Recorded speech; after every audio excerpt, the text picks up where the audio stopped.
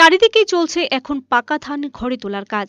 এবছর রাজ্যের কোনো কোনো এলাকায় ধানের ফলন ভালো হলেও কোথাও কোথাও আবার ফলন প্রত্যাশা অনুযায়ী না হওয়ায় কৃষকদের মাথায় হাত।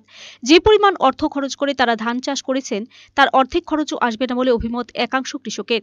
এর জন্য অনেকেই দায়ী করেছেন সংশ্লিষ্ট দপ্তরকে। অভিযোগ, সরকারিভাবে নিম্নমানের বীজ সরবরাহের ফলে ধানের ফলন এবছর তলানিতে। বিষয়টি স্থানীয় কৃষি দপ্তরের কর্মকর্তাদের দৃষ্টিতে নিয়ে যাওয়া হলেও কোনো ধরনের আশ্বাস নেই। এতে করে স্বাভাবিকভাবে হতাশায় ভুগছেন এখন ক্ষতিগ্রস্ত চাষিরা।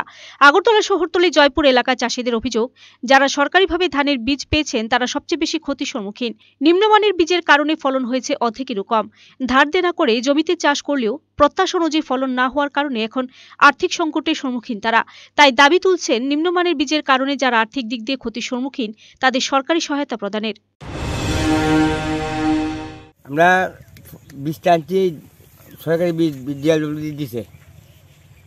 আমরা ব্লক ইয়া দুগলি ব্লকের বিএলডব্লিউ বীজ এত বীজ খারাপ পড়ছে গতবার ভাবছি চল্লিশ মিনিট গান এবার বিশ মিনিট হইতো না।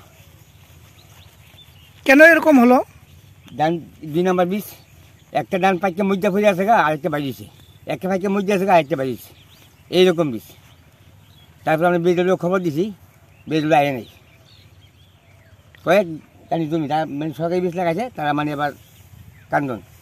आगे चुनाव जमकर वीडियो रिपोर्ट सर्च इंटरटेनमेंट